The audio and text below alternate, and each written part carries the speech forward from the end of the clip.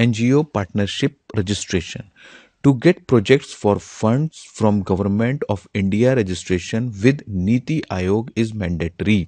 अगर आप गवर्नमेंट से फंड लेना चाहते हैं तो नीति आयोग यानी एनजीओ दर्पण में आपका रजिस्ट्रेशन मैंडेटरी है बिना इसके नहीं हो पाएगा मतलब ये सख्त ज़रूरी है मैंडेटरी मतलब होना ही होना है है ना तो registration process is not regular process the server of NGO Darpan government in are not in regular working condition तो अगर आप इसमें अपना रजिस्ट्रेशन करना चाहते हैं if you want to registration और आप अपनी यूनिक आईडी लेना चाहते हैं तो आपको N G O Darpan dot G O V dot in पर जाके रजिस्टर करना होगा। ठीक है, ये वेबसाइट दी हुई है, यहाँ पे जाके आप अपना रजिस्टर कर सकते हैं।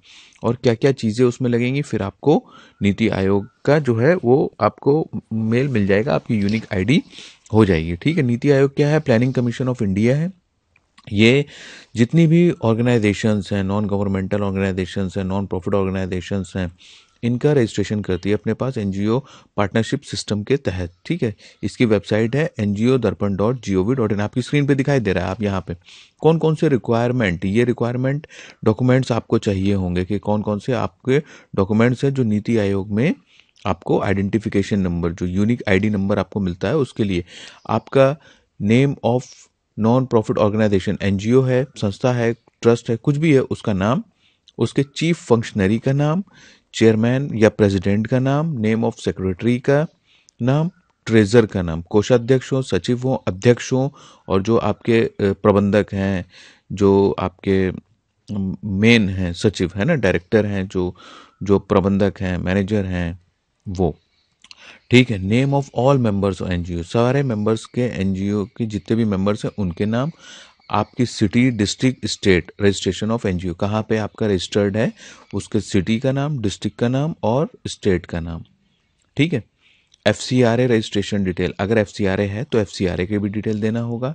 आपको इसमें सेक्टर अपना देना होगा write the name of issue which are working आप क्या काम करते हैं? एजुकेशन से रिलेटेड हैं हेल्थ से रिलेटेड हैं इन्वायरमेंट से हैं वुमेन डेवलपमेंट है चाइल्ड से हैं वेलफेयर है ओल्ड एज पर्सन है वेलफेयर फिजिकली चैलेंज पर्सन है है ना? दिव्यांगजन है एनिमल वेलफेयर है नेचुरल रिसोर्स मैनेजमेंट है रूरल डेवलपमेंट है ह्यूमन राइट्स पे आप काम करते हैं वेलफेयर ऑफ़ माइनॉरिटी माइनॉरिटी पे वर्क करते हैं कम्युनिटी पे वर्क करते हैं अवेयरनेस ऑफ़ सोशल इश्यूज़ आप सोशल इश्यूज़ की अवेयरनेस पे करते हैं एडवोकेसी करते हैं एंड लॉबिंग या जो भी आपका नेचुरल कैलामिटीज़ है है ना? नेचुरल डिज़ास्टर नेचुरल कैलामिटीज़ कोई आपदा आती है, उसके लिए आप वर्क करते हैं। लिवलीहुड जीवन कैसा है? योगा है स्पोर्ट्स है है ना? लीगल एड है स्किल डेवलपमेंट है डी एडिक्शन है माइक्रो फाइनेंस है, और अदर इशू जो भी इशू पे आप काम करते हैं, जो आपका पर्पज है, उद्देश्य है, वो आपको यहाँ पे मेंशन करना पड़ेगा। ठीक है? Operational area of society state and district wise name of the areas in which N G O is working आपने कहाँ कहाँ अदर स्टेट में अगर कहीं काम किया है तो वो भी आपको डिटेल यहाँ पे देना होगी। ठीक है अचीवमेंट्स क्या क्या अचीवमेंट्स आपको मिले हैं? आपको उनकी डिटेल्स देना होगी एनजीओ की, जैसे प्रोग्राम्स में आपने एक्टिविटीज़ पार्टिसिपेट कहाँ कहाँ किया है परफॉर्म किया है, कोई अवार्ड है, कुछ भी, जो भी है फुल डिटेल देना होगी। Contact details of NGO and all members पूरी कॉन्टेक्ट डिटेल देना है हर मेंबर की।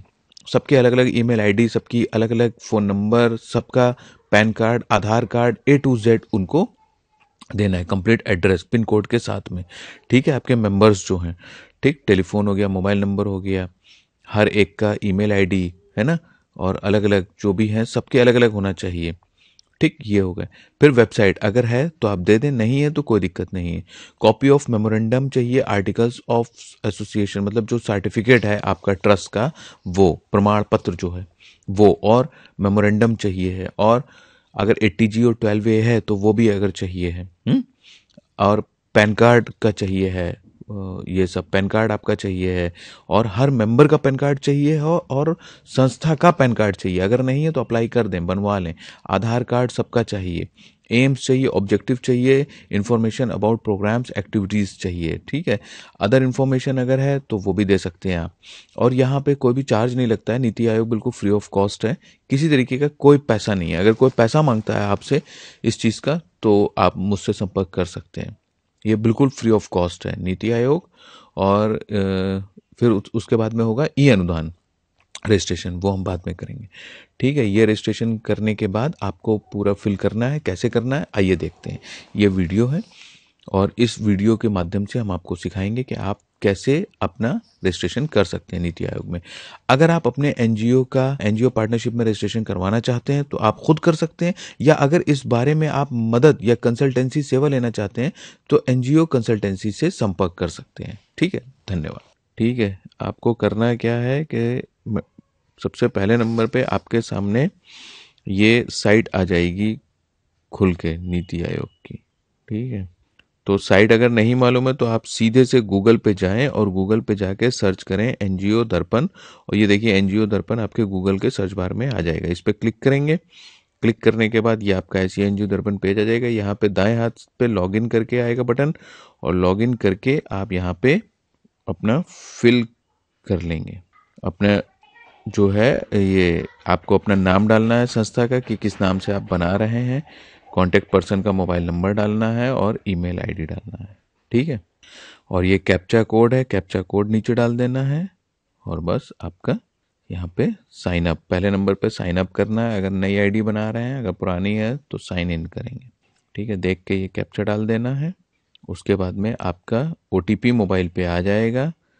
ओटीपी से आप यहाँ पे कंफर्म कर देंगे। मोबाइल ओटीपी डाल के मोबाइल ओटीपी से आप कंफर्म कर देंगे, फिर ईमेल ओटीपी आएगा। ईमेल ओटीपी से आप कंफर्म कर देंगे अपने ईमेल में जाके आप ये यहाँ से आपको मिल जाएगा।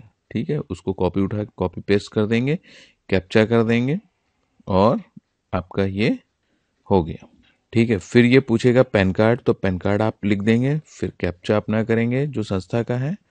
ऑर्गेनाइजेशन पैन कार्ड पूछ रहा है। ऑर्गेनाइजेशन का पैन कार्ड पे नेम क्या है और ऑर्गेनाइजेशन के पैन कार्ड पे नंबर क्या है? वो नंबर लिख देंगे, कैप्चा कर देंगे, सबमिट हो गया।